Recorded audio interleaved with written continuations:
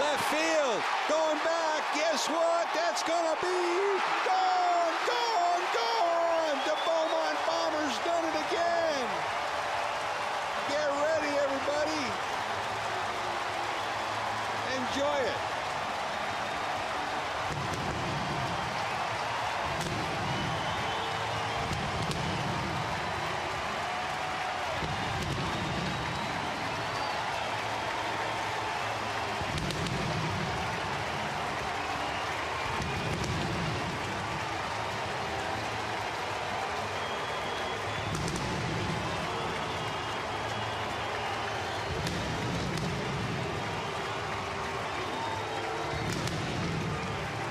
Well, Chris, if you're going to draw it up, how do you turn a night around? Here's the best way to do it. Well, you're not kidding about that.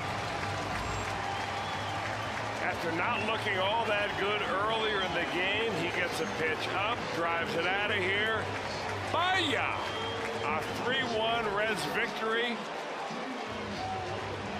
I'll tell you what, nobody left their seats tonight waiting around for a Reds win. That Nissan drive of the game. Uh, dandy. Well, the guy with a smile on his face is sitting next to a guy who's got a bigger smile on his face.